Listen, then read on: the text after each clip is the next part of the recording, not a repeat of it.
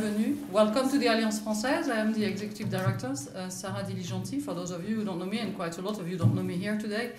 Uh, merci, uh, Madame l'attachée culturelle of the Embassy of France, to be here today as well, Julie, chère Julie. And I am actually very honored and, well, and happy to be able to welcome back within the uh, Alliance Française somebody who was here before my time. Uh, it was uh, Pascal Saurat, who was academic director at the Alliance Française here in DC uh, until 2005, at which time I took over. But then Pascal moved to uh, higher up in the Alliance Française at the Délégation uh, Générale, and then now works, if I remember well, at the World Bank. Still, still in education, maybe?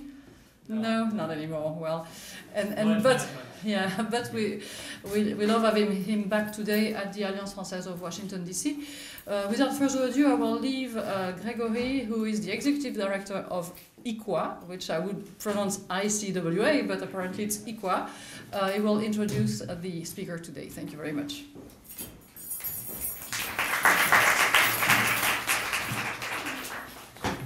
Thank you very much, uh, Sarah. Thank you very much to the Alliance Française uh, for having us here in this beautiful setting uh, in, on this rather chilly day today, I have to say. Um, and also thanks very much to the uh, French Embassy's cultural attaché, Julie Lesauce, uh, as Sarah said, and to all of you for coming here today. Uh, I'd also like to thank our, our trustee, uh, Pascal Sora, uh, for organizing uh, this event here. Uh, before I introduce uh, our speaker, I would like to say uh, a few words about the Institute of Current World Affairs, uh, which is almost uh, a century old, and whose genesis is actually tied uh, in, in some way to Paris. That's where President Woodrow Wilson took our founder, Charles Crane, for the Versailles, the Versailles Treaty ending the First World War. Crane was a philanthropist and a diplomat uh, who was a friend and close advisor of President Wilson's. And at the treaty convention, Wilson appointed Crane to head a commission that would travel across the Middle East and talk to the newly liberated people of the very recently former Ottoman Empire about how they wanted to determine their own futures and also pre preaching Wilsonian self determination. Crane spent two years traveling the region, talking to many people, and compiling a long report. But as fate had it, the report landed on Wilson's desk the day before he suffered a debilitating stroke, effectively ending his presidency. By then, the European powers were already busy dividing the Ottoman Empire by secret negotiation and treaty. And Crane realized that as a newly emerged global power, the United States was operating at a disadvantage because the old great powers had colonies and colonial administrators traveling back to the center with deep on the ground knowledge from various parts of the world. The United States didn't. So Crane founded the Institute with the idea of sending outstanding young professionals to gain deep knowledge abroad by uh, embarking on fellowships that were open ended at first. Our fellowships now are two years, uh, and the, first fellowships lasted as much as six or seven years. Uh, among the first fellows, John Hazard spent six years in the Soviet Union at the height of the Great Terror. He returned to help found Columbia University's Russian Institute, now the Harriman Institute, and become one of the preeminent Western scholars of Soviet law. Doak Barnett went on his fellowship to China in the 1940s and came back to head China studies at Johns Hopkins SAIS and write many books. But he was best known for persuading Presidents Johnson and Nixon to restore relations with China before that country's opening in 1972. More recent fellows include Andrew Tabler, who is in the audience here, uh, who just stepped down as Syria Director on the National Security Council, uh, and Congresswoman Pramila Jayapal, who is a leader of the progressive wing of House Democrats. Now, Karina Piser has returned from a very stellar fellowship in France, where she examined identity politics and Islam at a time that deep knowledge of foreign affairs is needed as much as ever in this country in the face of a US retreat from global affairs. We were very much reminded of that yesterday during President Emmanuel Macron's, or the day before, uh, testy meeting with President Trump in London uh, at the NATO summit. And who can forget Macron's bone crushing handshake with Donald Trump uh, about two years ago? Of course, Macron is uh, in some ways now becoming the face of Europe at a time that the European project is facing major challenges. But France is also dealing with some of the same political and social convulsions as the rest of the world, and in some ways the issues are more complicated. And I'm not talking about just the strikes that are taking place today. The Yellow Vest movement is leaderless and uncontrollable as a largely spontaneous phenomenon. The motives and issues aren't black and white. And Karina has looked into this and other issues on her fellowship, which she began by looking at the implementation of laïcité, the state policy of secularism, and Muslims in public high schools. She broadened her research into examining the place of Islam in society at large and fundamental questions about how the French define Frenchness, not only in terms of identity, but legally about what society tolerates, including the wearing of the veil. But I will let Karina explain that for herself. I'll just finish by saying that she now writes for the Financial Times, The Atlantic, and many other publications, and is increasingly appearing on television. Following her talk, uh, she will take questions for 10 minutes uh, before joining our panel discussion. And finally, I just ask that you please silence your cell phones. Thank you very much. Karina.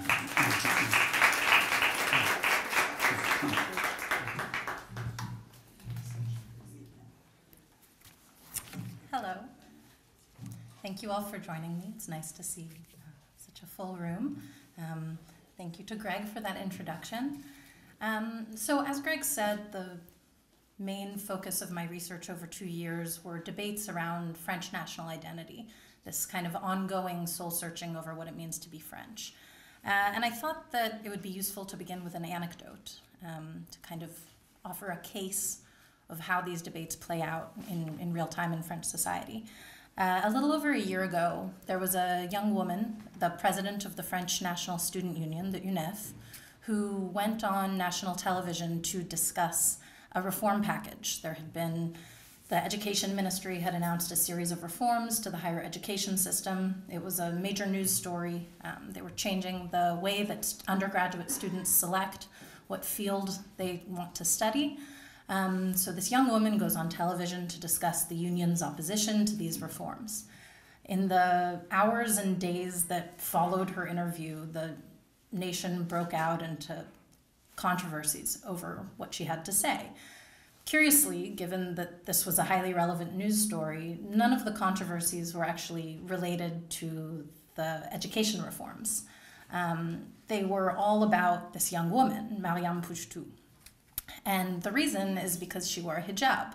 And in France, which defends a vision of secularism or laïcité that is different than the understanding of secularism in the United States, the wearing of the headscarf often sparks controversy. Um, so this chance TV appearance gave everyone in the public sphere a chance to weigh in, from public intellectuals to the highest members of government. Um, for example, the essayist Celine Pina tweeted to her nearly 20,000 Twitter followers that Pougetoux exemplified the Muslim Brotherhood's infiltration of student unions and said that the hijab is not a marker of Islam, but of Islamism and communal withdrawal.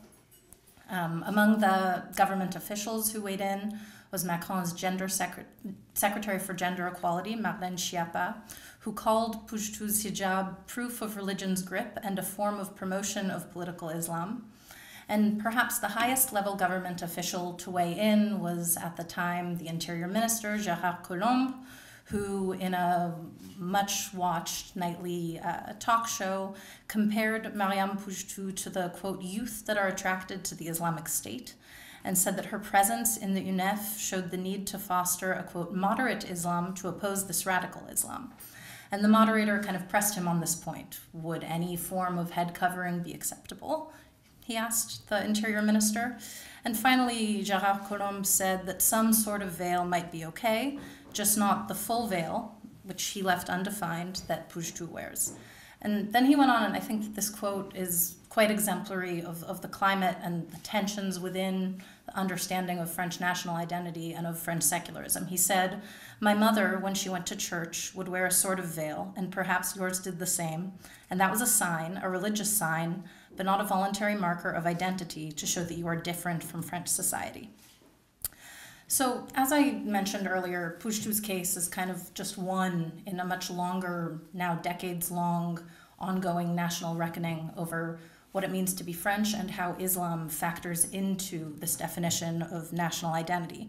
These controversies really started picking up in the 1980s, but the concept of French secularism has nothing to do with contemporary debates over identity or Islam, even though that's the context in which it's often invoked. Um, Laïcité is rooted in the French Revolution, in the rejection of the Catholic Church, which was a pro monarchy, anti revolutionary force, and ultimately debates over how to keep religion in the private sphere, keep religion separate from politics, led to the 1905 law, which is the French law of laïcité. Um, and the law in itself, which I think I was surprised to learn when I started my fellowship, is at its core a law that's designed to promote religious tolerance. It's based on three fundamental principles freedom of conscience, the separation of political institutions from religious institutions, and the equal footing before the law of different religions and beliefs. And I think that for the most for most of the 20th century, that was how the law was implemented and the way that that was how the law was discussed in public life. But in the 1980s, France underwent demographic changes. Um, there had been a significant wave of immigration from former colonies in Africa and North Africa following decolonization. So in the 1960s. Um, and by the 1980s, those immigrants had had children who were born and raised French. Many of them also happened to be Muslim. Um, and so this kind of opened this questioning over whether or not those two identities could coexist in, in French society.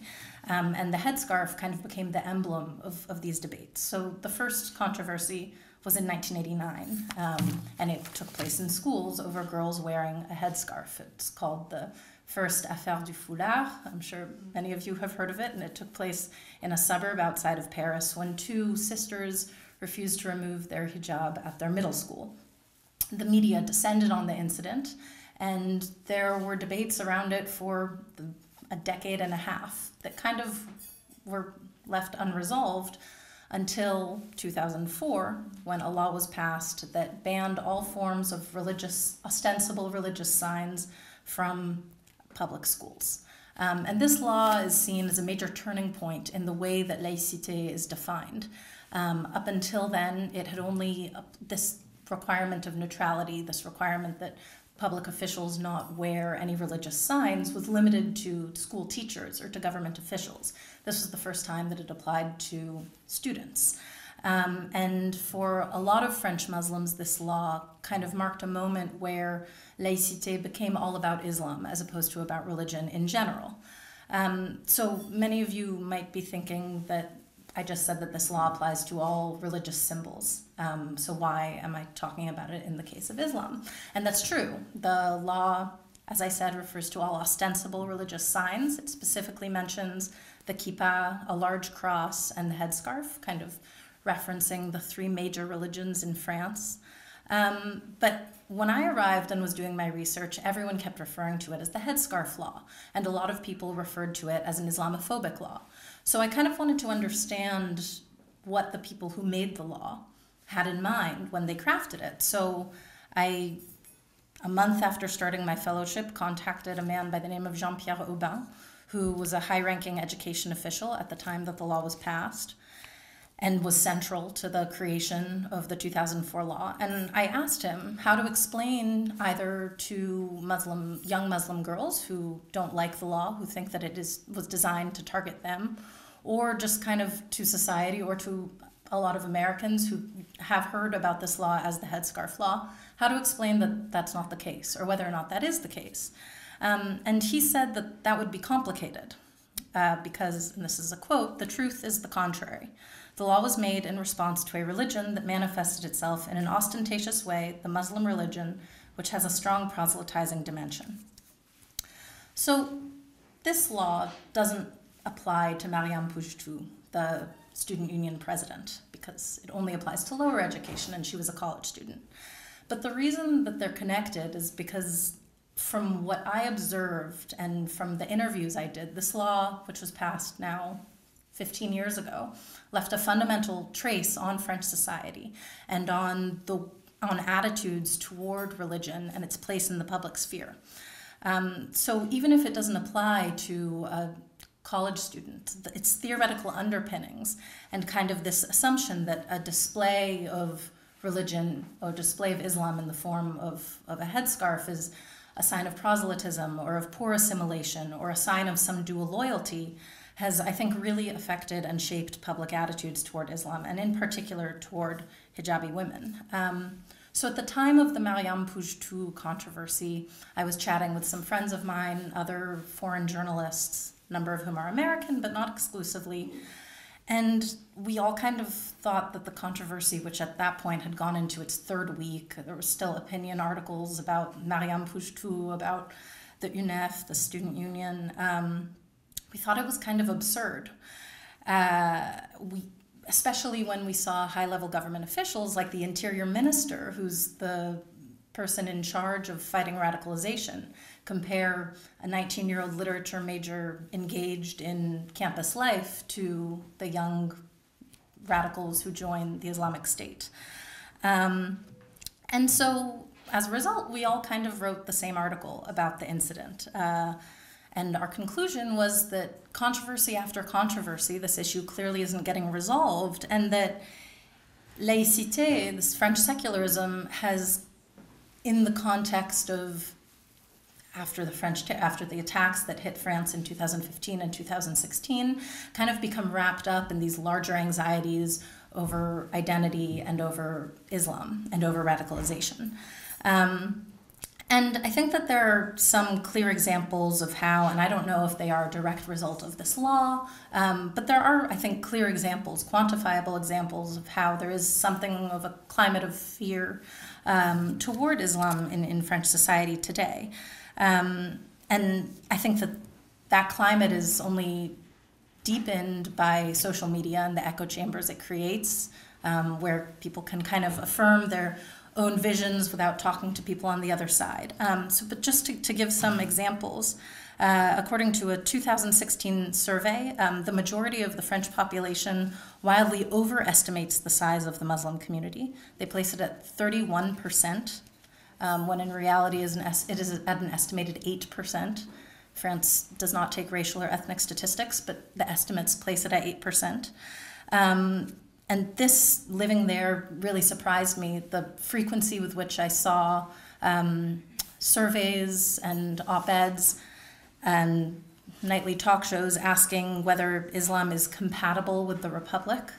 Um, a survey from two months ago indicated that 60% of the population does not think that it is. How much we trust surveys, etc., is maybe another another conversation.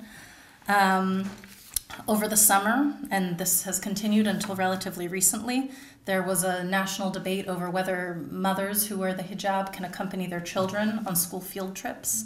Um, and so a lot of people, I think, had hoped that Emmanuel Macron would kind of temper these debates. Um, and he has to a certain extent, but in a recent interview with a magazine, he said that he did not think that um, the headscarf was compatible with the civility of our country and lamented that many young women who wear the hijab are the children and grandchildren of immigrants rather than recent arrivals. And he attributed that to the failure of the French integration model. Um, and so this was kind of the context that we, I, and other foreign reporters saw this controversy unfolding. Um, and so we all wrote this article kind of to, to that effect, basically saying what I've just presented to you. And then we all face this wave of backlash against our article.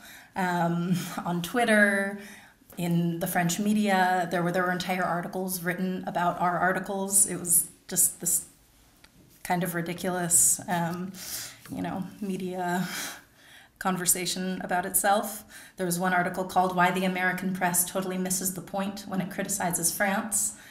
And, and that's fair enough. Um, I've just spent the past however long 10, 15 minutes talking about how I understood these debates in France from an American perspective. I grew up in the US. Um, and it's clear that in France there are there's a different there's a view of US conversations about diversity and religion and religious freedom that that there's kind of a, a, big gap between the way that the two nations define religious freedom and what it means to exist as, as a united nation. Um, and so I didn't really try to kind of come up with an answer to which model is better. Is the French model better than the American model? I don't know. But what my research did kind of make me think about was national myths and the stories that nations tell themselves.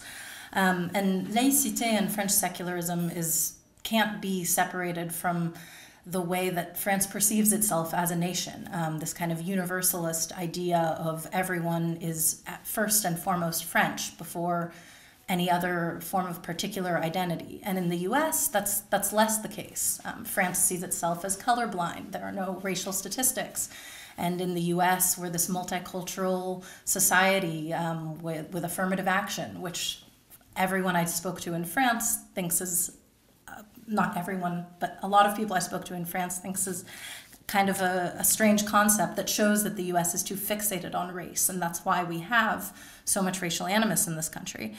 Um, but the fact of the matter is, is that in both societies, intolerance has become a major feature of contemporary politics. Um, and in France, as much as there is this kind of narrative of colorblindness and of being a post racial society, there are major inequalities on religious and ethnic lines. Um, police stop Arabs and blacks 20 times more than they do whites. Stop and frisk is routine practice. Um, and discrimination in the workplace and housing market is rampant. And these constant controversies do, I think, among many French Muslims, contribute to a sense that they are discriminated against.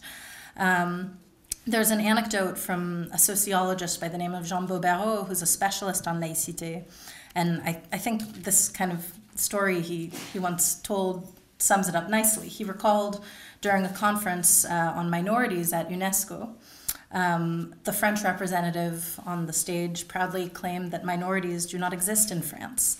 And an academic sitting next to him in the audience kind of chuckled um, and, and nudged Jean Baubérot, the sociologist, and said, Yes, like in Iran, where there aren't any homosexuals. Um, and you know, I think that that is kind of maybe an extreme example, but this idea that France is a multicultural society that is struggling to embrace, or that for a number of reasons, good or bad, does not want to embrace the language of multiculturalism, has kind of come to, has really kind of crystallized and come to um, a point of, of tension today, um, and especially in the, in the past several years. And so it's not just Jean Baubérot, the sociologist, or foreign correspondents like me and the others who wrote this highly provocative, apparently, article about Mariam Pougetoux that are kind of questioning these this narrative about race and religion and identity. There's increasingly a new younger generation of activists that drawing on lessons from the U.S. civil rights movement, et cetera, is kind of more actively questioning um, this this narrative and they have butt heads with the establishment um, to a great extent. Um, there's a, a, woman, a sociologist, and an activist who I interviewed a couple times during my fellowship by the name of Nassira Guénif. Um, and she's in her 60s now. She's French Algerian. Um, and I think that the way that she described it to me kind of sums it up nicely that France is a multicultural society that doesn't think of itself as multicultural. Um, and she said that her generation was quiet, and she kind of reflected on this reflex she had growing up to always apologize for her origins. That she'd enter a room and kind of quietly say, "My name is Nassira, but it's it's okay, um, don't worry." And that now there's kind of a realization that that strategy didn't work, um, and as she sees it, the establishment is afraid. Um, there's a lot else that I would like to get into. Um, as, as Greg said, my fellowship kind of offered me avenues to explore the ways that this has affected different parts of society, um, this, this ongoing conversation. Um, but that's one of the greatest things about the ICWA Fellowship, I think, is the way that it really lets you follow the tangents of any given subject. Um, so I arrived having with, with two years in front of me to explore this topic, and I was able to interview students in schools who grew up with this 2004 law on religious signs on the book to kind of understand how they saw the law. I was able to interview people on both sides of the spectrum. Um, and I think that that's something that the ICWA Fellowship really offers that is a rare opportunity. Um, so I would love for you, if you had any questions um, about my research, uh, happy to answer them, yes. Thanks.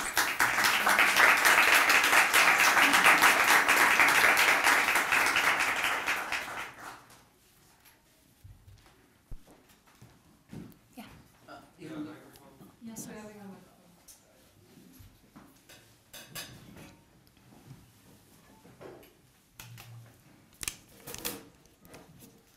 Yeah, I think they're going to pass around the mic, maybe.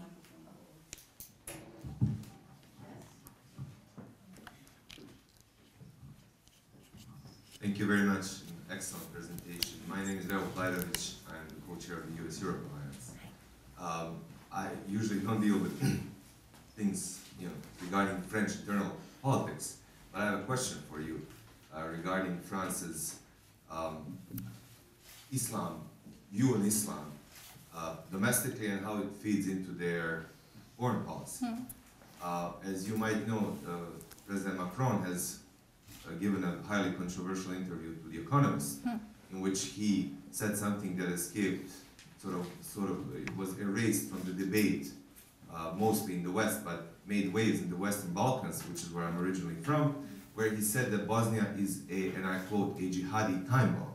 Yeah. Now, if you know the context for, you know, us, you know, white European Muslims who've always been there, which is a very different context than European immigrants have in, in the societies they come from, it, it was, I mean, it's hard to over, overestimate how negative the comment was and, and how negatively it was perceived, especially having in mind that Francois Mitterrand is, you know, on the record saying that Bosnia, during the war in the 90s, France was heavily on the uh, Milosevic's side. And Francois Mitterrand said that Bosnia would not belong because it would be the only Muslim nation in Europe. So my question to you is Macron's uh, foreign policy, which is very focused for some reason on Islam, an extension of the debate that you just talked about, which is what some of the analysts have been saying, or is it something completely different? Thank you very much. That's a really interesting question. I certainly the tone of that comment um, that he let slip in, in the Economist interview, um, the kind of language of saying it's a jihadi time bomb, is consistent. I think with the these domestic debates. I wonder the extent to which any French president right now could not focus on at least I don't know about Islam, but at least on Islamism in, in French foreign policy, um, given that, that France has had such a problem with Islamist terrorism um, in the past several years. Um, but you know, it's hard, it's it's hard to say. I think that, that it ha- What's, what's Bosnia got to do with it? I mean, everybody knows the comment is, is, is a lie. yeah, There's no, there's Right. no proof yeah, yeah. I mean. I think that it's hard to say. Like, like I said, I I think that a lot of people thought that Macron would kind of temper these debates um, that were particularly contentious during the previous administration because that's when the majority of the terrorist attacks had hit. And obviously, during Nicolas Sarkozy's, he kind of raised this whole question of national identity to begin with and of integration to begin with. I think that also right now, Macron is kind of making a lot of electoral calculations in the lead up to the municipal elections in March, and notably kind of projecting to 2022 when there will be the next elections. And so maybe taking that kind of firmer tone is something he thinks will, will gain will gain voters um, from the right potentially. But I I don't know enough about his internal calculations.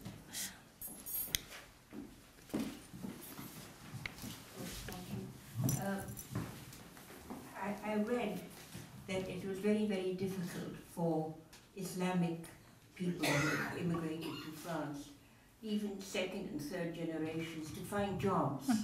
Is that true? And, and even though they've got French citizenship, it is very difficult for them to find work. So I, there is a s- good deal of workplace discrimination um, because France doesn't take racial or religious statistics. It's difficult to act to quantify it, but there has been there's been an, a good amount of research done kind of with testing. So, for example, they'll send two resumes to a number of, of hiring of companies that are hiring that are identical, and one person is named Mohammed and the other person is named Jacques or something. Um, and I think that Jacques gets hired at a rate 20 times higher than Mohammed, despite having the exact same qualifications. Um, so, yes, there is discrimination. I'm Catherine Riley, and I am a friend of ICWA. And I would like to ask if you think that civility, the term which Macron used in his statement that Islam is not compatible with the civility of our country, if that is the appropriate sort of objective of the narrative. And I want to make a parallel with the US. And I think we need to be very careful about not acting superior to the French in terms of Islamophobia and racism because we have a long way to go. And there's a lot of talk these days, um, with which I agree, about the importance of civility between the Democrats and the Republicans.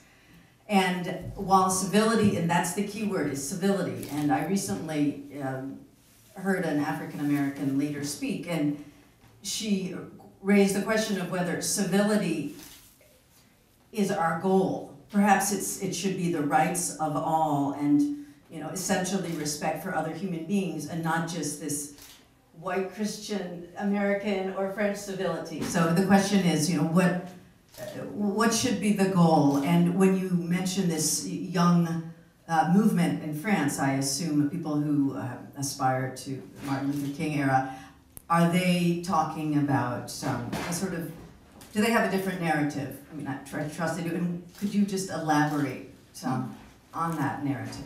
Yeah, um, that's that's an interesting question. I think that everybody has the same stated goal, which is social cohesion, um, or vivre ensemble, is living together, is the way that it's often discussed in France. Um, I think that the younger generation of activists and this new movement is trying to promote a vision of society that celebrates difference in a way that maybe Macron's notion of civility or what the kind of French universal model um, doesn't necessarily see as productive or, or something that kind of makes people get along. Um, so, to, to give a more concrete example, I did a number of interviews in, in public schools and I spoke to a lot of young students, many of whom came from Muslim families, some of whom didn't. Um, but these, you know, they're 16 years old, they were they have only gone to school with this law on the books. And a lot of them said i went on a school trip to the uk or i went on a school trip to the us i guess less the us but they, they more they said they went on a school trip to london and they saw police officers wearing a hijab um, and they thought oh what if i want to be a police officer? Um, would i be able to here if, if i wanted to keep wearing a hijab? And that there they didn't see why they, they saw that as an example of why growing up with people around you who look different and that being something to be celebrated rather than considered out of line with the civility of, of the nation as something that was had a positive effect on, on society rather than a negative one. Um, I think we can take one last question before we start the panel discussion. Who was I have a question about debate in France and the terms of the debate. Um, does anyone argue that Islam as a religion of holy law is very different from Christianity as a religion of faith? And that difference makes Islam inherently political? Or does that never come up? A lot of people are, make that argument that I, I think that that's something that a lot of the people who took issue with using Mariam Pougetoux as this example, taking issue with the fact that a student union president would wear a hijab. Um, there's it's often people often say that Islam is not a religion like any other, that is inherently a political system, and so it needs to be approached in a in a different way than than other religions in France. And I think that they use the rise of political Islam as a way to kind of substantiate that claim. The majority of the French Muslims I interviewed do not see their Islam, their faith, as something that goes any that, that exceeds the bounds of faith. Um, I talked to, to nobody who said that they view going to mosque and praying or wearing whatever they choose to wear as an expression, as a political expression. Um,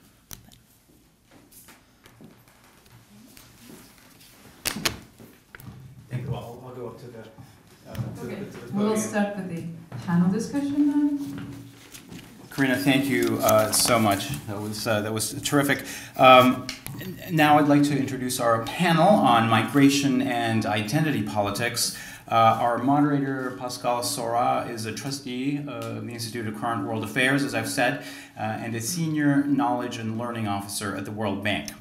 He's also a former cultural and education advisor with the Embassy of France in the United States, uh, and also once ran this uh, institution, the Alliance Francaise in Washington. So I can think of one, nobody better to moderate this discussion. Pascal.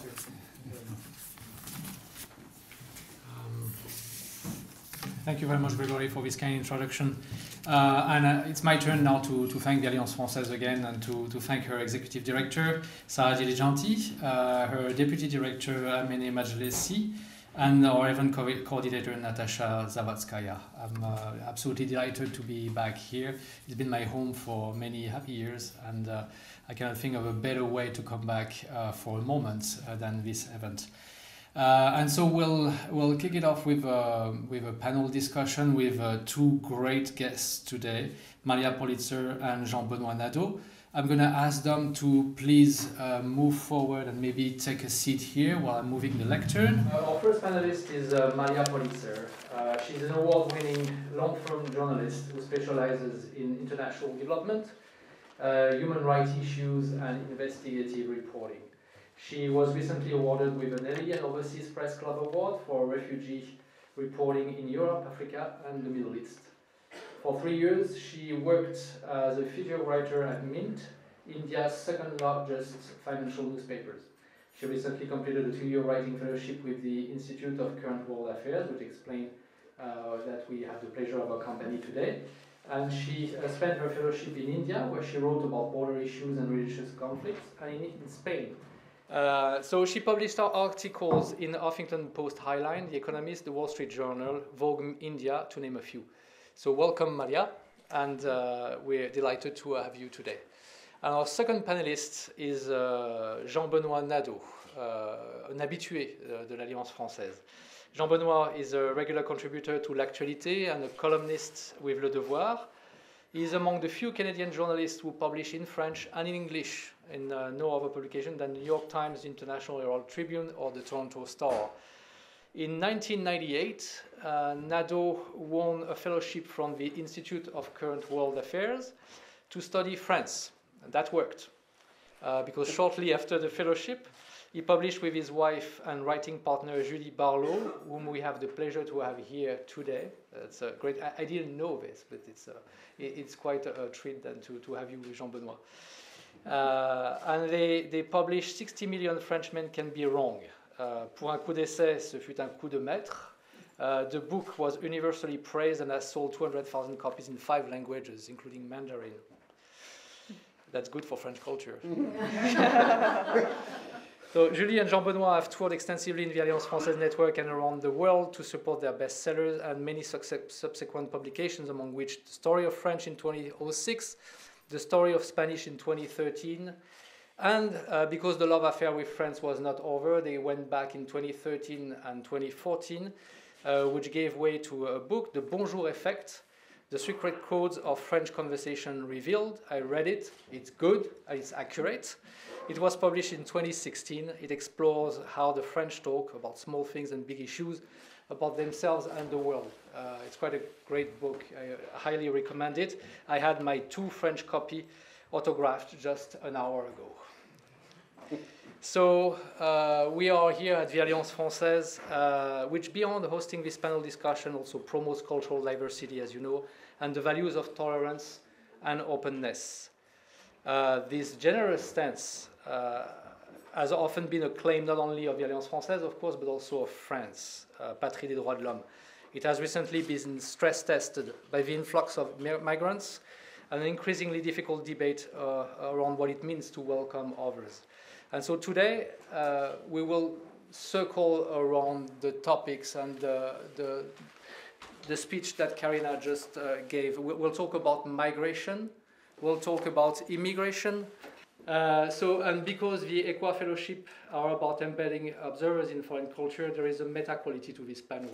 Uh, it is composed of three voluntary and temporary immigrants uh, who had to navigate otherness and what it means to be wanted or unwanted somewhere.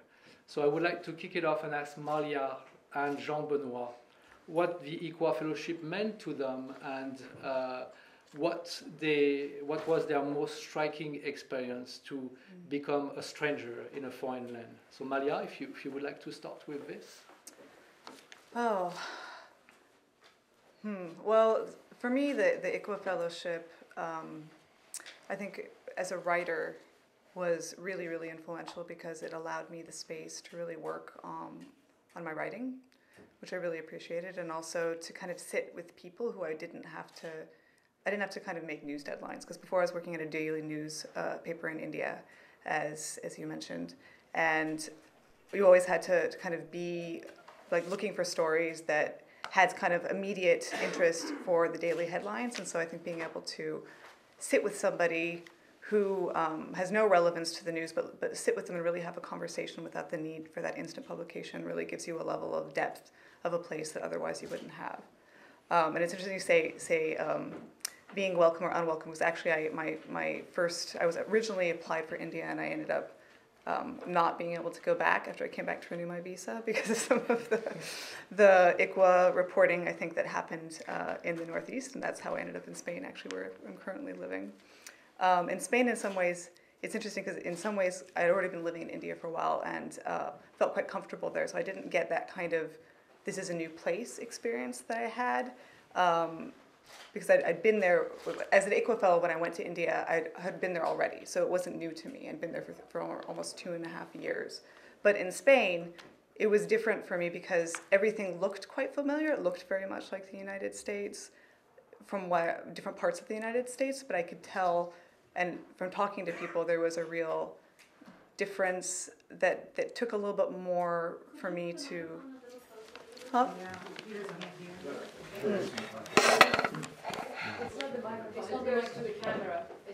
Oh, okay. Probably move backwards. That may work if you want to incorporate those speakers. Yeah, we have Sorry, technicality. No, no problem. Let's do a second take then. Yeah. Let's try again. Okay. Is this better? We'll try.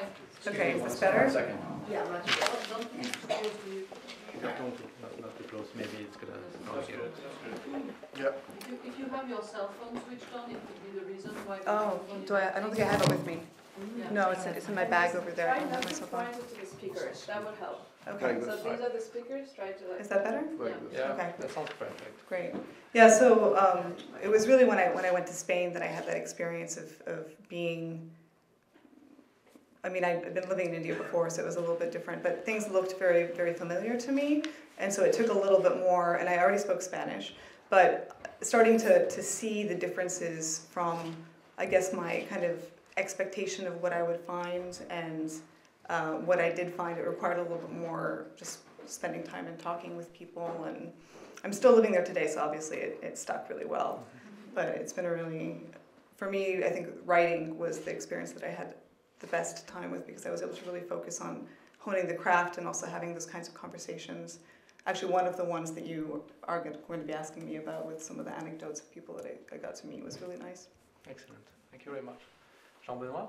The, the, uh, the, the, the, fellowship was an opportunity to, to get um, out of Quebec. Quebec is a, I was a journalist, and Quebec is a very small market within Canada, so I had the opportunity, thanks to the fellowship, to, to, to uh, French is my mother tongue, and, and so I had to do the double exercise of understanding the French and understanding Americans because I was writing to an American institute. So I was doing an exercise that was both ways all the time. Was a great thing, a great, uh, uh, great occasion. And I, as a fellow, my, my the, the, the topic I'd given myself was why the French resist globalization, which after two weeks realized that they don't realize that they don't resist at all. and I found myself without a topic, so I decided to study why we ask silly questions about the French and keep asking them. And uh, much of the, the, following books was about that, uh, about explaining the French in their own terms rather than foreign terms. You know, even a term like uh, unemployment, for example even if it seems objective, doesn't compare because the way it's defined between countries is not the same. So you cannot say, oh, they're doing this much better or worse because they have this much or less of employment. It doesn't compare. It can only be understood within the country. Um, my first impression, it's actually the director of the, at the time was Peter um, Peter Martin. He said to me two things. He said, he said, keep your receipts, and he also said, uh, cultivate your first impressions. You will only have them once. Uh, so I did something I never did before, which was keep a journal. And uh, amongst the early things we did, we were living briefly in the, the 20th arrondissement, and I went to visit the mosque. It was kicked out. When he realized that I was a journalist, everybody was welcome, but he kicked me out. And he, they kicked me out for my own good, my own good because some people could be rough with me. Naturally, they were rough kicking me out.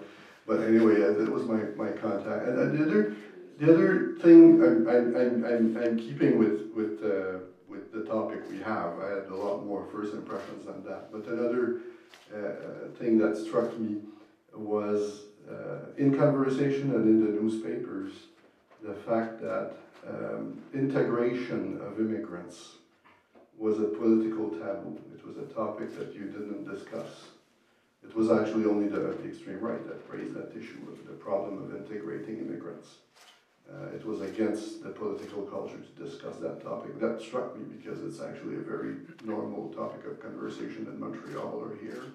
You know, integration of immigrants, some have trouble, some have this trouble, and you discuss that. In France, that topic was taboo, and uh, that struck me a lot. And, and Julia and I worked a lot in understanding why this was so, and a lot of our books turn around those topics. I'll stop here for I'll stop here for the moment. Thank you, Jean Benoit. Very good. Uh, and uh, before we go back to integration and immigration, let, us talk then about migration. Uh, I would like to, to ask another question to, to Malia, uh, reflecting on a, an article you wrote uh, a few years ago for the uh, Huffington Post. Uh, it, was, was a long form article, uh, really well written, beautiful pictures too. You follow the migration trail from Niger to Italy to Turkey to Germany, and you uncovered, doing so, the exploitation of the migrant crisis, which culminated in your article uh, with what you described in Germany as the crisis going corporate. Can you, can you please tell us a little more about your finding and, uh, and what you, you observed in Germany, notably?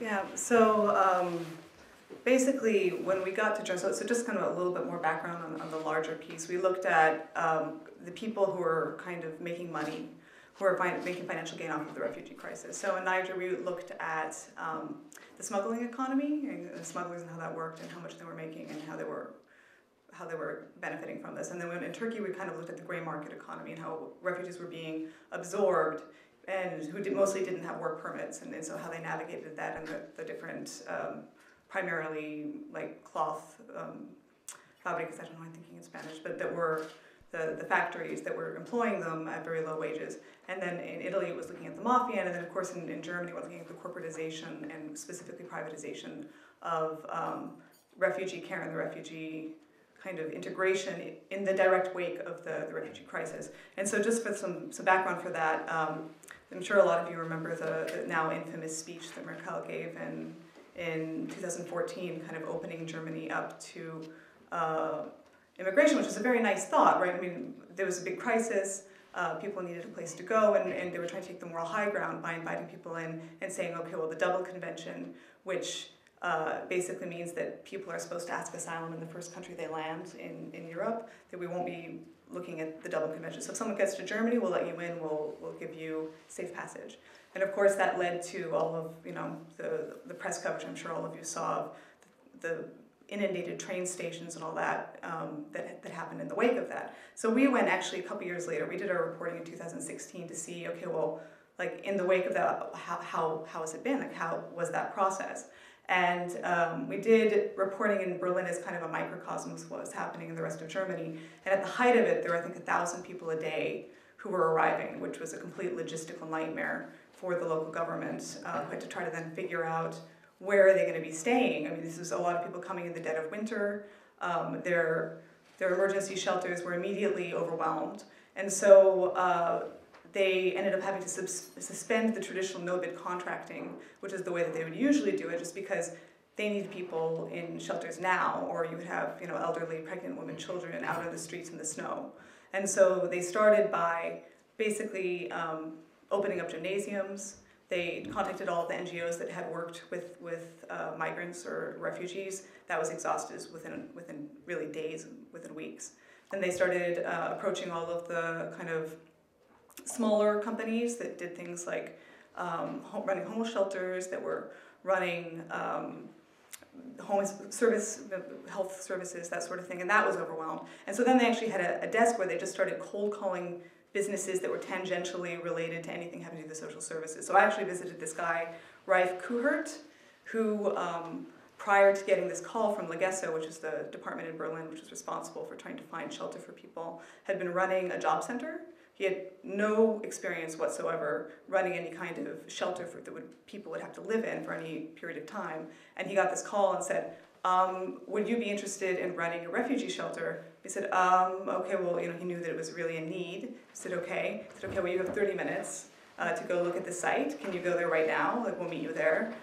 Okay. Three hours later, he was running not just one, but two shelters with 600 people, double the amount that they were supposed to have, and he would be in charge of that with no experience for months, um, close to a year, actually. So that's kind of the situation that Germany was in at that time. So there's kind of two two periods of time, uh, two, two waves. There was the immediate wave of, of just everyone trying to kind of capitalize on this emergency. Not everybody. Some people were, a lot of the companies were really trying to do their very, very best. But there were, of course, like one of the other ways that the government was trying to get people out of the cold was issuing these vouchers, these 50 euro vouchers, that then people could take to a traditional hotel or hostel in exchange for a bed. So they would give this person who's you know waiting for LAGeSo, once they established that okay, you are an asylum seeker, take this voucher. And so then overnight you saw um, basically people having these handwritten signs from their, their windows saying that people could come to their house and they put into bunk beds, um, kind of like an Airbnb for refugees almost, and then people would be trying to, to kind of cash in on that. So, so one of the government people that I, I interviewed actually thought that in that initial phase, Germany probably overspent by 100 million um, euro because of kind of not managing that initial, that initial wave properly. And the second one was just more, um, a bit more organized as when the larger corporates started to come into it. And that's where you had, um, there's this airport called Tempelhof Airport, it's a Nazi era airport in uh, Berlin, that they basically were trying to figure out, well, how can we have a more, a much larger uh, space for refugees to go into. And so they opened, decided that we'll turn this into a refugee shelter. It was not, of course, designed to be refugee shelters. so there were a lot of problems with having enough uh, bathrooms and all that sort of thing. But then they started approaching these larger corporates, and one of the big ones is um, European Home Care. Um, and there are a few others, but that was the one that we were kind of investigating in this piece. Um, and they took over the, the management of this, basically, and, and, and um, they were basically ended up spending, I think they charged, quite remember, I think it was like 11 or, or 22 euro per person, which was a lot less than what the government had been previously spending, so it seemed really good, and they said they could do this by economies of scale. But um, a lot of human rights activists and also a lot of the asylum seekers that we interviewed um, said that the reason, that what way that they thought they were making money off of it was just by really cutting costs. So um, there was a lot of lack of shampoo, um, there were a lot, a lot of lack of toilet paper, of baby products, Uh, and so they really came under fire for human rights abuses. Um, anyway, I know I'm running on for a while, but, but basically now um, the other, you're not seeing, now that people are out out of the emergency shelters, the, the new wave of kind of corporatization of uh, the refugee crisis in Europe. Well, in Germany specifically, it's integration services, which I think is actually a lot more better managed now because I think a lot of the exploitation that happened in the first wave was because of lack of government oversight. And now um, they've had kind of chance to kind of get to speed on what's happening, and there has been a lot more government oversight. But I think the next wave that uh, needs to be investigated now, and I'm actually starting to do this with a colleague, is the externalization of borders into um, North and Central Africa, and the, the companies like security companies that are have gotten multi-billion dollar contracts doing that. So I think that's the next wave that would be really interesting to look further into. Thank you very much, Malia. Thank you uh, for this uh, interesting account and uh, talking, uh, walking us through your, your journey and the journey of those migrants. Uh, Karina, you had your own encounter with, uh, with migrants, and so speaking of borders, um, you, uh, you actually traveled to Gap during your fellowship and you attempt, attended the trial of seven migrants' rights activists. Uh, they were dubbed the Briançon Seven. Uh, they were facing up to 10 years in prison and they were charged last December uh, with lighter sentences, but which were seen as still unusually harsh. Could you please describe uh, for us the tensions that you witnessed and the, the public debate surrounding the trial in France? Yeah. yeah, I attended the trial last year of seven migrants' rights activists, advocates who, so just to give context on the trial, they, they had been charged with facilitating the illegal border crossing of 10 or 20, it was kind of unclear, um, migrants and asylum seekers um, which is illegal um, in, in France to help people cross the border illegally. Um, and the context in which they did that was last April, uh, this far-right group called Génération Identitaire, which is part of the larger identitarian movement, often referred to as the alt-right, um, had staged massive protests and blockades on the French-Italian border. Um, they got had a good amount of money and were able to hire helicopters and dressed in matching uniforms and block the border and put big signs saying migrants go home. Um, and so these activists staged a march in response to this massive blockade of the border, and in so doing, walked across the border from Italy to France and were accused of doing that as a ruse to bring illegal or without migrants without papers across the border. Um, and so I attended that trial, um, and it was this. It was in this small town in France, but the issues that were raised are really fundamental for, for Europe more broadly. It was this kind of question of can we maintain open borders within the European Union at a moment where migration is causing such political tension? Um, and also this the duality of, of the, the trial, these migrants' rights activists being tried who were retaliating against the blockade of the border staged by identitarian um, by an identitarian group. Um, so that was a really interesting thing to witness. Um, Thank you. Thank you very much for, for, for that, Karina. And migrations are believed to ultimately benefit recipient countries. Uh, there is right now a Venezuelan crisis, as you know, and it's been calculated that uh, Colombia might be better off for these migrants who are young and uh, who are educated. But uh, somehow, in spite of this uh, rational understanding of what migration brings to a country, um, the immediate reaction, of course, is xenophobia. And this is heightened when those migrants might become immigrants. And so uh, there's the whole question of how we accept the other. And Karina talked about this a little bit, uh, but I would like Jean-Benoit now to, to, to tell us a little bit about his finding and his reflection uh, in his latest book, The Bonjour Effect, on, uh, on how France is uh, actually seeing the other. Um, you, you isolated by basically three uh, main components. The first one is the, the assimilation or integration of foreigners. The second is uh, an endemic defiance vis-à-vis ethnic communitarianism, and the third one is the defense of laicity, which uh, you define, uh, and I love that expression borrowing from Liogier, as freedom from religion. So could you tell us uh, how you saw this concept help, or on the contrary, complicate the discourse about immigration? Um, I, I, my impression, in fact, that there's there's there's um, a lot more complicated factors than just those three elements, and and and one one is the fact that for the last 50, 60, 70 years, um, the French have developed a certain level of political correctness that is theirs. That is, for example, criticizing Europe was forbidden in the press, or you didn't do that because that was for the far right. You would not express publicly nationalism.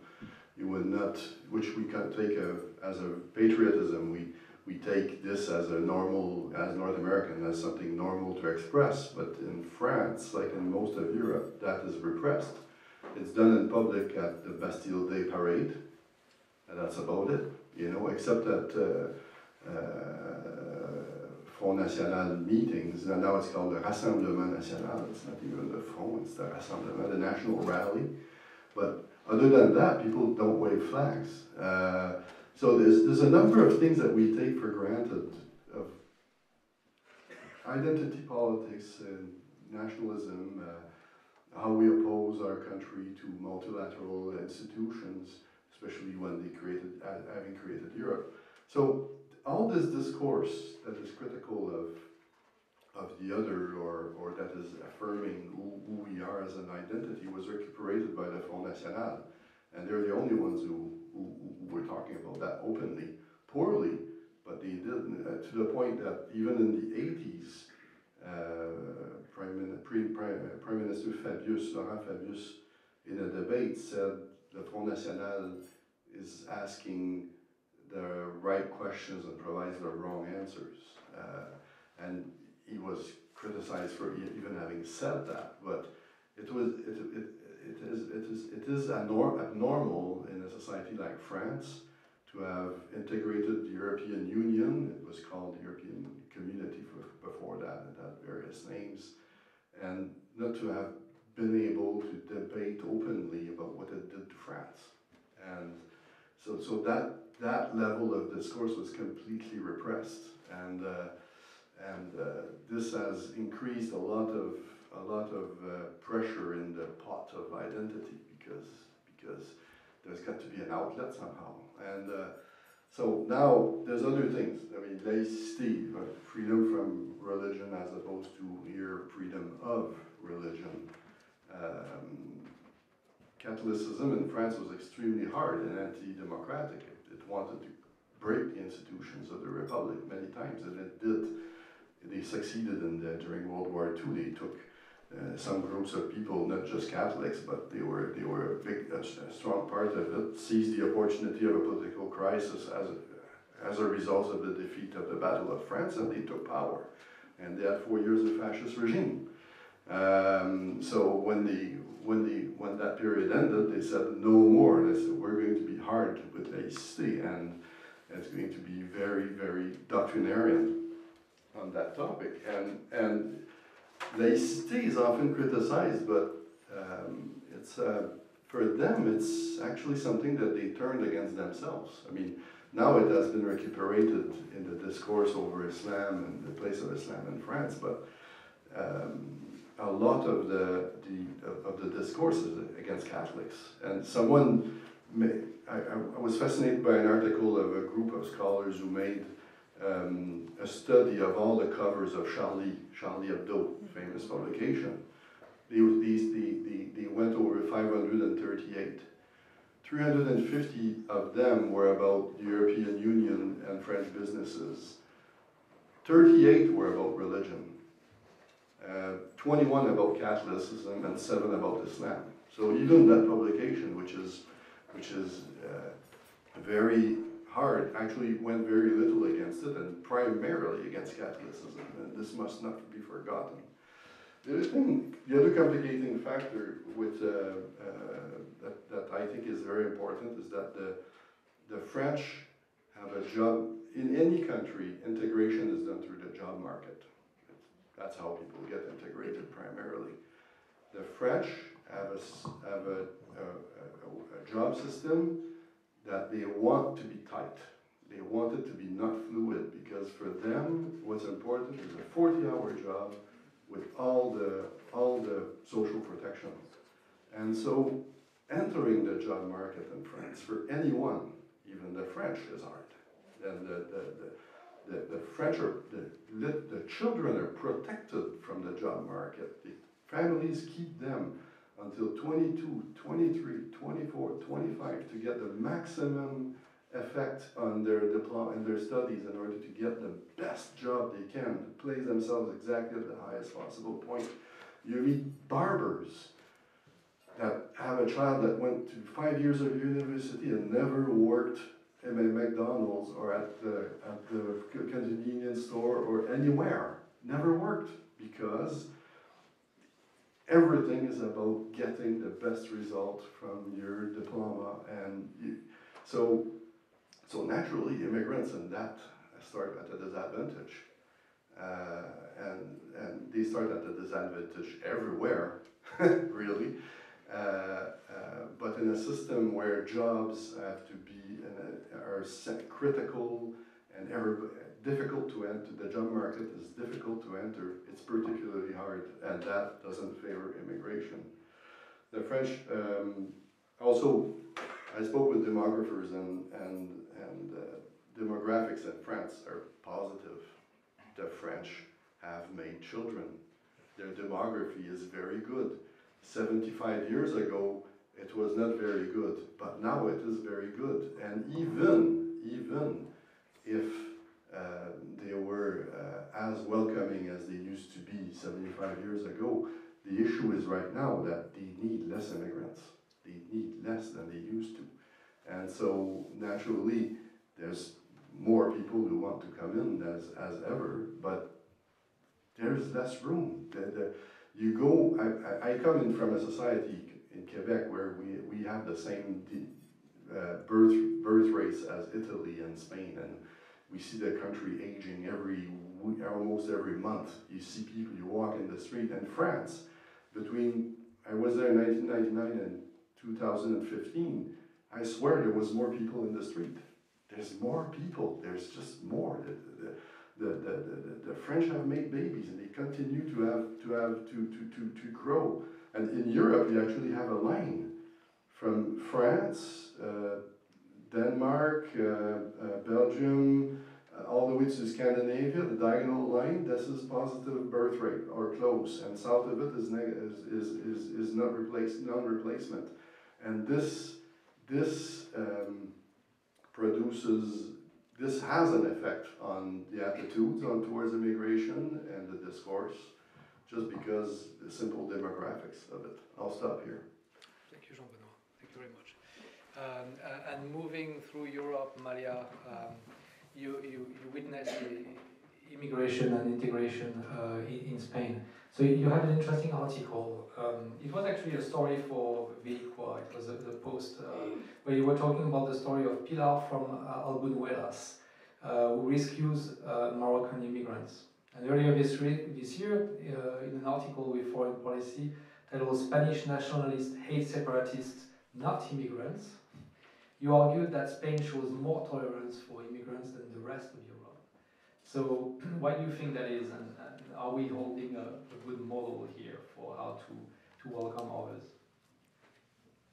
Thank you. Um, I wouldn't necessarily say that Spain holds more tolerance than, than the rest of Europe. I think that what you do see is, um, until very recently, actually until last month, Spain has had a, a, notable lack of any kind of far-right party that capitalizes on this issue. It just hasn't really been a talking point in politics. And if you poll most Spanish people, even um, at the height of the economic crisis, they were not being hostile towards towards immigrants. Like that wasn't one of the talking points, which is I mean, there's been a lot of research on something called the so-called like Spanish exception, which is what what this is considered to be as to why uh, Spain hasn't experienced that sort of um, xenophobia recently, which is also even more interesting given the fact that there are a couple of factors that would make you think that there really would be. Like um, Spain between I think 1990 and 2009 had this huge demographic shift of um, in 1990, uh, 1999, migrants were 1.4% of the population, and in 2009 they were 14%. So there was this huge increase of migration to Spain that happened to overlap with one of the worst recent economic crises in history. In 2008, youth unemployment was like 55%. And so usually those sorts of factors together are kind of like rocket fuel for, for far-right parties, but that just didn't happen. And so there were all of these scholars saying, well, why didn't this happen? And so there are a few different kind of prevailing theories about why why it's the case that, and the reason why I'm kind of focusing on, on the lack of the far right is because for this to be a talking point, it has to be on the political agenda. Usually, the parties that put immigration um, as a negative on, on the kind of political agenda tend to be on the right. Um, the Partido Popular, which is the kind of has been the mainstream for a long time. Spain had a two-party system that's recently ruptured entirely, but the Partido Popular was the one that might have tried that. But um, one, one of the reasons that you haven't seen that playing is because one of the ways that immigration plays in kind of far-right parties is as a call for nationalism. Like this is kind of the, the straw man against which we unify to uh, be us against this kind of external threat. And, and what's different about Spain is Spain has a very, very salient external threat, or rather internal threat, very internal threat, which is that it could break apart at any time. You had the, the Basque separatists who, you know, with ETA for a long time, who were literally blowing things up, trying to get separate. And now you have the Catalan crisis, which is a very, very live and very, um, it's not violent quite. It, it, kind of is getting there, but not the way that ETA was. You have bombings, but you do have these protests that are becoming much, much bigger. And, um, and that is kind of what, what people have been focusing on as, as a political talking point of, of this is what we need to, to kind of shut down. Um, the other reason I think that you, you see more of a tolerance is Spain has, has been a, um, a country of immigration for a really long time, and this is where we get to Pilar. So Pilar was a woman that I wrote about in one of my ICWA newsletters who was from this uh, little town of Albuñuelas. She was 85 when I interviewed her, but her story is really relevant because when she was uh, in her 20s, she was one of these tens of thousands of Spanish people who ended up going to the rest of Europe to be a migrant. So she actually went to France, I can't remember where, someplace in the south, of France, where she worked uh, picking escarole on these farms and would go, you know, leaving her children behind, just the very typical migrant story, and would spend, I mean, and she was very conservative, but because she had that experience, um, when migrants, when she met this migrant man who had, you know, just washed up on, you know, basically come on a patera on one of those little boats, everyone else had died, he was the sole survivor, she was very welcoming to him and really tried to help him to get work because she identified with him. And I think that, that one of the other arguments that they say why Spain has been exceptional in this regard is, is it's still very recent that people have that um, personal kind of family memory because it was their parents, it was their grandparents. But I think now you're seeing a new generation that doesn't have, I mean, now you have the youth who have also um, are all moving out, but I think now, uh, so in this past, like last month, Spain got its first mainstream far-right party called Vox. It, it um, has a third of the parliamentary seats in Spain, oh, sorry, not a third, it has 15%, but it's the third most uh, important party now in, in the parliament. And I think what you're seeing now that's different is um, Vox, because I mean, this is a little bit too granular about Spanish politics, but for a long time there's a two-party system that broke five years ago, and there's they've been kind of had these newcomer parties, and they've been really struggling with how to form a government. So they've had to do these re-elections because they just haven't really had a functional government for, for five years. So the last time that the socialist uh, current president had a re-election. Vox came in, I think, and people voted for it, I think, partially out of frustration because they really managed to, to capitalize on the Catalan issue and say, look, we're going to be intolerant of that. But the other thing that Vox is doing now is trying to own immigration. And that's the first time that we've seen that happening in Spain, where there's a party where this is their talking point. And I think that they're, they're really using the, the exact same rhetoric that you're seeing with a lot of other far-right parties in, in Europe, the same kind of, I mean, they kind of align out of those books where that's becoming an issue, and I think that because people are now in Spain used to, to, reading about that in the press from the rest of Europe, it's becoming a very normalized place. So I think that even though the polls aren't reflecting it now, I wonder if we're seeing the end of Spanish exceptionalism now. And I wonder if we're going to see more antagonism towards immigrants than we have in the past. So I don't think that the polls reflect that yet, but I, I think that it might happen soon. So. Thank you, Malia. Um, thank you. Yes, and here the unifying factor is the, the fear of losing identity. It's Yeah. the, the way you perceive yourself as a, as a nation and as a country. Um, and you, you, talked about um, how integration is difficult for, for you. Karina, you, you also met with, uh, with younger immigrants uh, and had um, a very touching and interesting article about how um, their identity as youth is recognized or not uh, by the French system. Could you, could you tell us a, a little more about this? Yeah.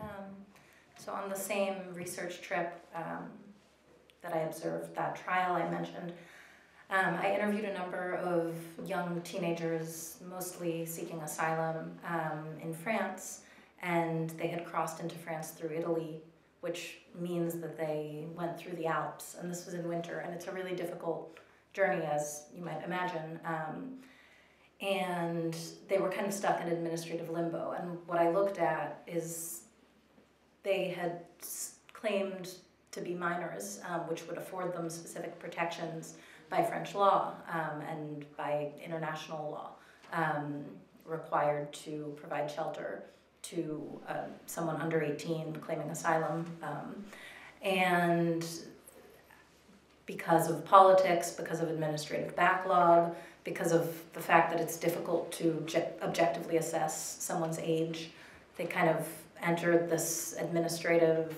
abyss um, where a lot of their claims of being a minor were denied. Um, in many departments in France, uh, administrations still use bone tests to assess age, um, except bone tests have been completely deemed by all medical authorities in France and abroad as inaccurate um, and kind of an insufficient indicator of age. Um, and so a lot of them, based on this basis, were denied any protections as minors. In the events where they weren't given a bone test, they were often given very quick interviews, um, and they were kind of in a bind. The interviewer would ask, "How did you get here? How have you supported yourself?" And they say, "Well, I." I came from Niger and I and I worked my way up to up to the north and then I got on a boat and or I, I went through Libya and in Libya I had to do all of these things in order to find a trafficker to take me to Europe, etc., etc. And the interviewer would say no minor could have done that on their own. Um, and so it was a really interesting and kind of these stories were horrible. Um, but it also, if bone tests are inaccurate and these interviews are subjective, it shows that, you know, I mean, a lot of immigration policy is caught up in reactionary politics and, and in, in partisan divides, but there also is a real objective difficulty um, in these assessments and in how to give rights to the people, um, to how to appropriately allocate benefits. Um, it's, it's not a science, it's very difficult. Still on the topic of identity and uh, maybe the denial of identity here. Um, you, you wrote, Malia, about, uh, and that was a, a very recent work you, you did for the New York Times. Uh, you wrote with Annie Hylton. You describe a lot, the lot of LGBTQ refugees. Uh, what- what's remarkable and what's tragic is the fact that their struggle starts with the denial of their sexual identity. Translators uh, who are here to help them uh, refuse to translate accurately uh, when they talk about their their sexuality. So tell us more about what you discovered there.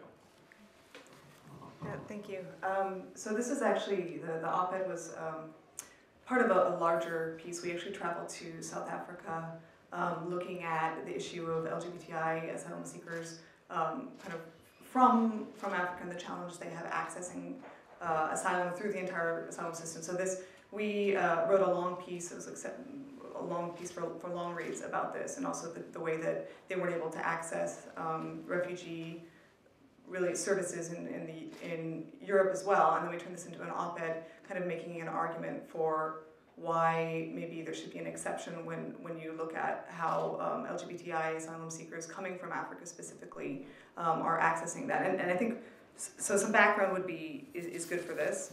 Um, and basically, in, in Africa, um, 34 or 54 countries penalize being LGBTI, and that's why we focused on Africa specifically, because I think being LGBTI is difficult in general um, to.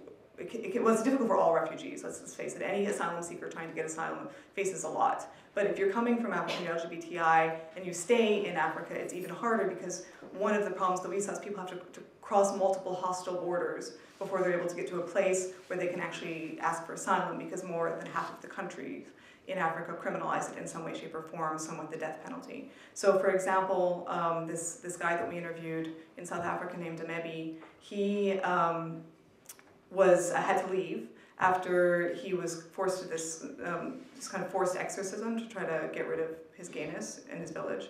It didn't work, so obviously. So he, um, people were trying to kill him, and, and he actually fled to a big city, and he was followed by people from his village who were actually sent by his father to try to kill him because of, of the shame that it brought to his family. So he ended up eventually, um, somebody felt bad for him. He was begging on the streets and gave him enough money to uh, go to South Africa because South Africa is one of the places that has become kind of a mecca for people who are LGBTI in the other parts of Africa because it's one of the only places where actually there's protection written into the constitution. Um, so, but unfortunately, in, in the reality, what we found the reality is that they're not really protected there either because South Africa is experiencing this huge wave of xenophobia right now. So like all of these asylum centers have been closed down. There's really only two that work. And when people are trying to access services, since they're so inundated, there's not a lot of private places where they can give their stories. Um, as you mentioned, the translator issue is a big one because a lot of the translators aren't sensitized to these issues. So if they're coming from the same country, which they often are, because that's why they would know the language, right? Where they're trying to translate the story, some, sometimes in, in several occasions people flat out refuse to translate.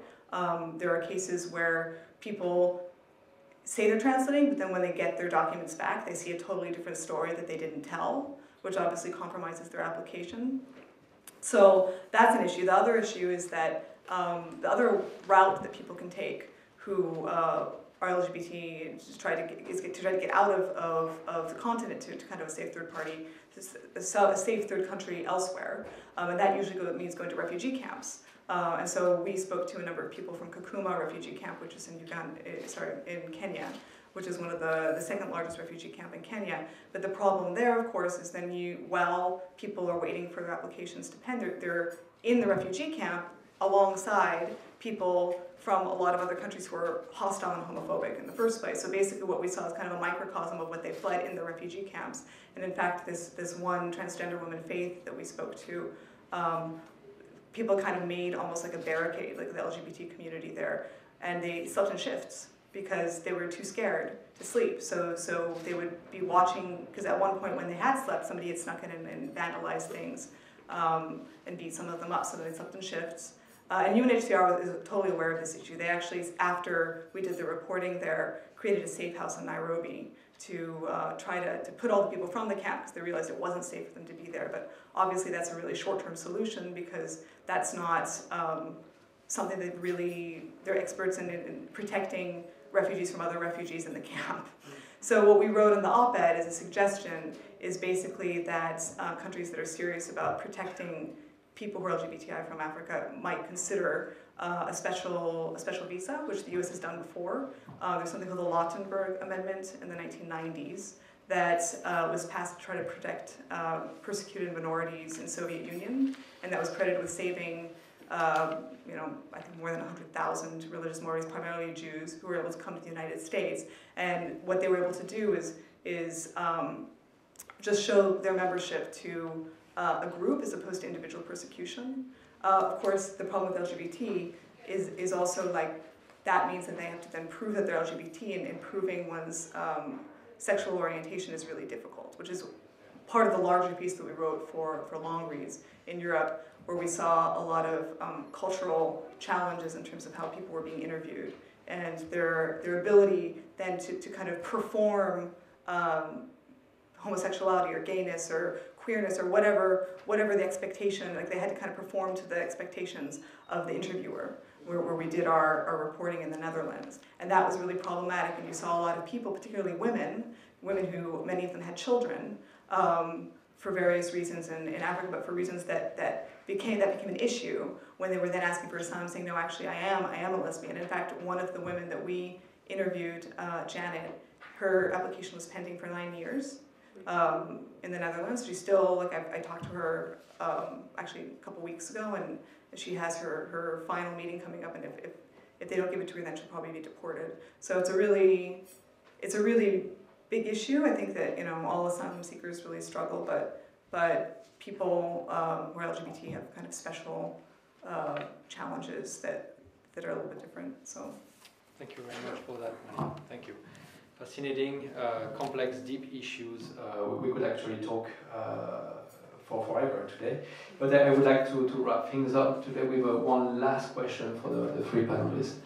Um, and to do so, I, I would like to quote the last few sentences of Jean Benoit's book, uh, Jean Benoit and Julie's book, as a matter of fact.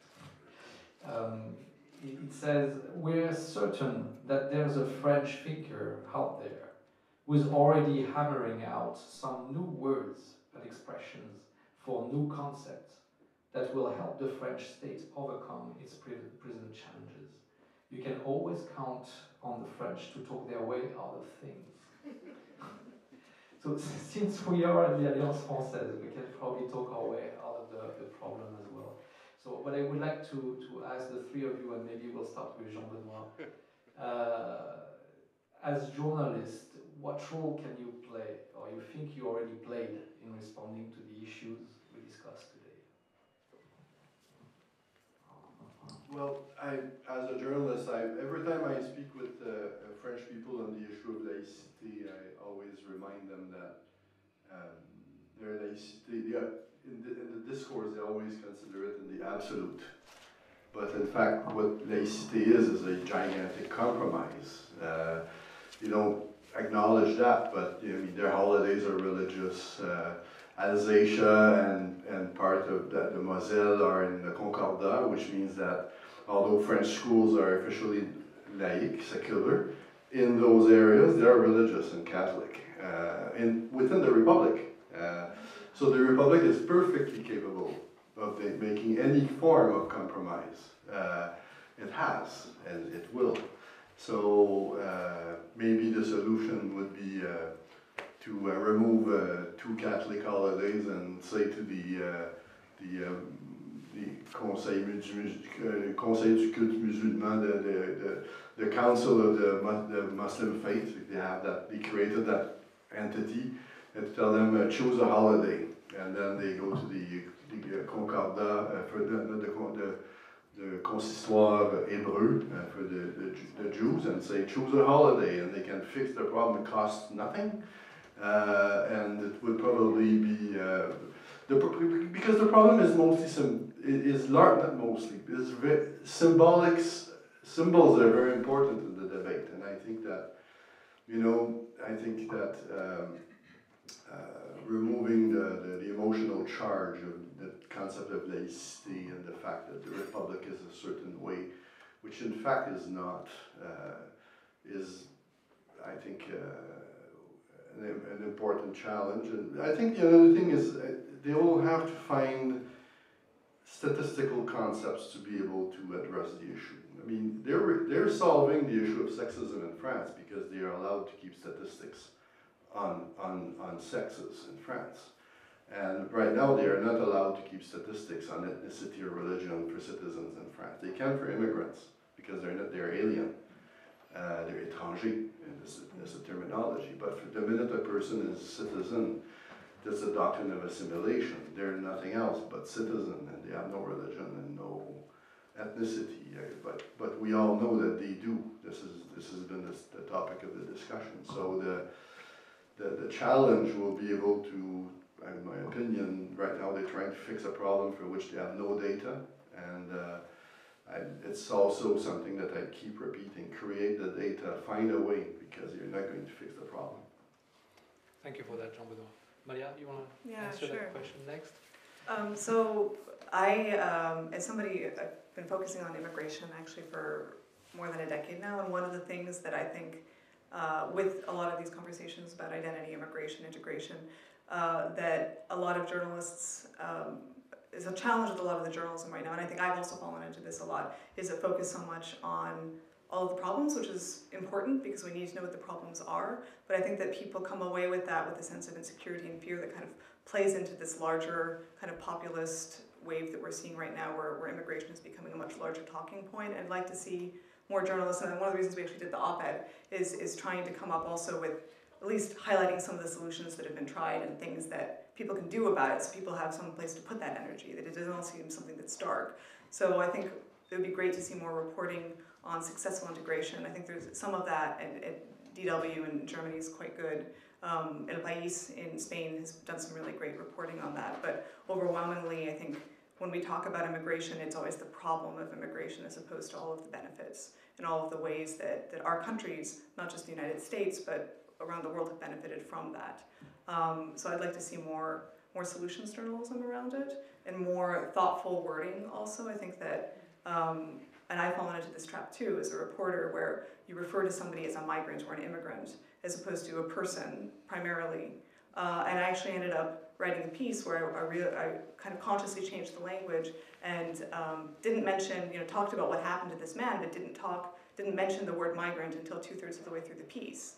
And uh, people wrote me about it because they noticed. They noticed that that happened, and, and, and I think that it humanizes people. So I think that being thoughtful about the language we use and how we describe people and how we describe the issues would also be a way of, of having more thoughtful conversations in the public forum around this that aren't quite so polarized. Thank you. Karina, Yeah. let's finish the way we started it. Okay. Um, I wholeheartedly agree about solutions journalism and highlighting success stories and showing that things aren't so black and white and always one way or, or the other way. Um, I think that one way that journalists can respond and kind of contribute to, to debate and conversation on these issues is by interviewing the people concerned by the debates. Um, I think that one of the reasons why I proposed in my fellowship to interview high school and middle school students was because in France there was, especially after the 2015 attacks, a lot of conversation in the news about high schools and middle schools in the banlieue, in the suburbs of Paris primarily. Um, and I read all of these articles about what should be discussed in schools in order to promote tolerance, in order to foster a culture of republicanism, etc. And I never saw any of the teenagers, any of those middle school, high school students be interviewed. Um, and so I really focused on trying to do that as part of my reporting. And teenagers actually have a lot to say. Um, so I think that journalism can benefit from talking to the people concerned first by the, the question at hand. Thank you. Thank you very much for this. Um, so we could take now maybe a few questions. I don't know if Sarah is here or if we I'm have here, any but- time constraint. But okay. We, we do have time constraints, so. Uh, at what time? But it's How much more do we have? Uh, five Ten- minutes. Five minutes. Okay. So really nice pointed questions. You know, only if your life depends on it. Julie. Um, Karina, I was just wanting to ask you, when we lived in France in 2013-14, we were seeing this unusual rise of right-wing activism, which was really new. On gay marriage, there definitely there definitely was a large scale mobilization in the streets. I haven't seen that. And I mean, in France, where protests are so common, there was very little far right activism. Recently, Génération Identitaire, that identitarian group that I mentioned a little bit ago, did stage a protest in Paris, and I think that they drew like 300 people. Um, that's it. Um, as opposed to other marches recently against Islamophobia, c- clearly today against pension reforms and all kinds of economic reforms draw hundreds of thousands of people, and this was kind of a, a paltry little march. So if you were concerned about the rise of far-right activism, I don't think that it is that robust. Catholic in particular, like that was the... Well, yeah, so with gay marriage and like and mariage pour tous, all of that I think is, is maybe a little bit different. I didn't see that. I feel like since 2013, 2014, that hasn't been so much of an issue. Yeah. Mm-hmm. Gregory, you had one question? I, I have a longer one. If somebody else has another, okay, I'm happy to wrap up with a question. That's Go ahead. So, on the matter of the official approach Islam, the subject of attitude change and behavioral change has been intensively studied for a century, starting with French uh, sociologists. The general conclusion after a century is that uh, vilification and deprecation and coercion are bad ways to evoke behavioral change and attitude change. In your interviews, did you detect any current, any discussion about people who say, this approach is really not going to work for France, there's another way? Or, or there's nobody talking about that? People are definitely talking about that. I think especially, are you saying to people who kind of question or challenge the assimilationist approach? No, I'm, Oh. th- there's another way to deal with people besides coercive ways. Right. You can be open, you can be welcoming, you can say, okay, we don't agree about things, but we'll take you into our home, we'll try to get, you know, find a way to live together. Is that part of the discussion, or that's not part of the discussion? I think it is a little bit part of the discussion, um, but I think that kind of the, the strict adherence to this idea that in order to participate in French life, there are certain criteria that need to be met in the public sphere. So in terms of religious expression, for example, kind of limits how far the argument of we can live together and coexist, how, how far that kind of vision can, can be developed, I think. Thank you very much. Um, is, uh, Gregory, you Well, want just, to just a quick, wrap I, it up? I was afraid that my question is sort of too general, but I want to ask between, Jean-Benoit, between your fellowship and Karina, yours, uh, you know, we live in a world where uh, it, it's changing quite quickly. So, I mean, France is an, is an amazing country. In what other country do so many people come out on the street like, like they are uh, today to, to, you know, protect, protect their way of life, whatever you think about uh, uh, the, the motives? Um, and a lot, you know, these debates about the about the about the veil, about uh, uh, uh, migrants, immigrants, they're cyclical. There were riots in 2005. That these things happen, and they happen in other countries. How much of this, the current debate, is what the, the, the same kind of debate that, uh, that, that you witnessed when you were you were in France, and what has fundamentally changed in a country where now both the, the right and the left uh, political parties are emasculated, where you have a president who represents a completely new political force. Is, is the contradiction between, uh, for example, how you put it so well, this compromise in reality and sort of absolute symbolism, is, has this come to a head, or is it the France that you recognize from your time there? No, I think it's very, very much the France. It, it, is, it is evolving in, in, in, in short hops, and, and sometimes there's a leap. You know, I, I, I for example, uh, politics used to be about right and left, and now they, the, the right and left is still there, but there's a new component. It's the internationalists, European, pro-European versus the sovereignist nationalists. It's a component that was not that was not really there, but is more affirmed now in in, uh, in French politics. A completely reversal to, uh, for example, in Quebec, where it was not federalist against separatists, and now it's right and left. You know, it has it has reversed in Quebec, and in France, at, about the same time, it has reversed the other way. Um, I do not know. Uh,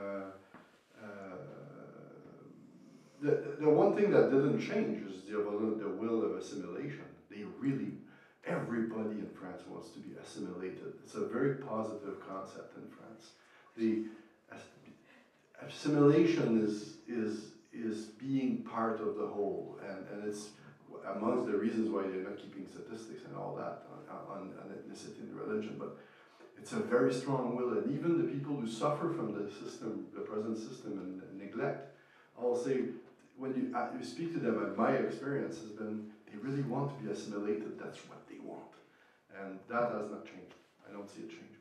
Jean, just I um, Americanism, anti-Americanism has changed a lot. Yes, it's, Um, it's less, ex- it's expressed a lot less. Openness, interest in English has changed a lot. These are the big things that Yeah, saw. yeah. Much more openness about things that they used to be trop okay, like blocked about. So, Yeah. and that, that's, that it's, and it's sort of, what we saw was a sort of, um, the French are a bit down on themselves and looking for solutions elsewhere. That's how we sort of saw it. Sorry. Yeah, That's- Thank you. big, uh, Thank you very much for that. and that's uh, that's good to finish on a positive note. Um, it's been an incredible privilege to uh, to be able to discuss these difficult topics with the three of you, Jean-Benoît Nadeau, Malia Politzer, and Karina Piser. Thank you very much. I'm not thanking the microphone. I want to, to thank as well the, uh, the audience for your, your attention. There is food in the library. Uh, it's quite good, comes from uh, Petit Plat, an excellent restaurant.